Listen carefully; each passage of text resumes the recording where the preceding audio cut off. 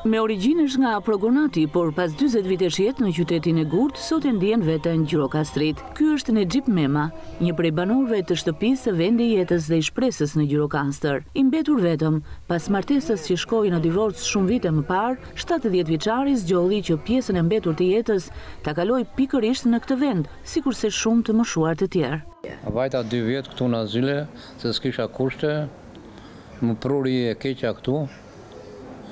Kisha një dhomë aty në mbrapa pas konvitit, isha në punë atëheraj, edhe u detyrova që të vija në azile. Isha, isha vetëm, ndava problemet e mia, edhe u detyrova të vija në shtëpinë e të moshuarve.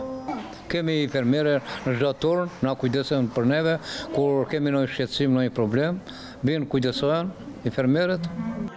Kur e pyet për shoqërinë e krijuar tashmë brenda kësaj familjeje të madhe, Nexhipi shprehet se pjesën më të madhe të kohës e kalon me Marien, duke u përkujdesur për të. Kujdesonem për një femër aty për Marien dhe e kaloj mirë. Dal bashkë me të, e shoqëroj, bëj shoqëri, e shoqëroj se vem me pin kafe, mos ta zërë ndonjë makinë, më ka thënë këta drejtorisë.